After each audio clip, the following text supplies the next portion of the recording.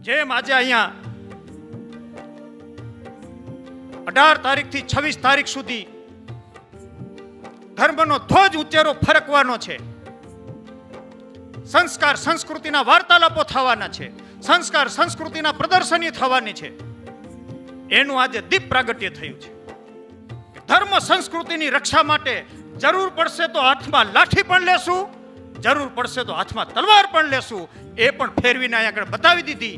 એ તો એક સંકેત માત્ર મંચ ઉપર હતું, પણ એનો સંકેત હતો, એનો સંદેશ હતો કે ભારતીય સંસ્કૃતિ, ભારતીય ધર્મ, સનાતન ધર્મ એને બચાવવા માટે જરૂર પડશે તો લાઠી, જરૂર પડશે તો તલવાર અને એની સાથે બીજો સંગમ આપણે જોડાયેલો હતો.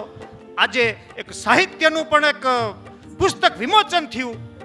અને સાહિત્ય એટલે શાસ્ત્ર.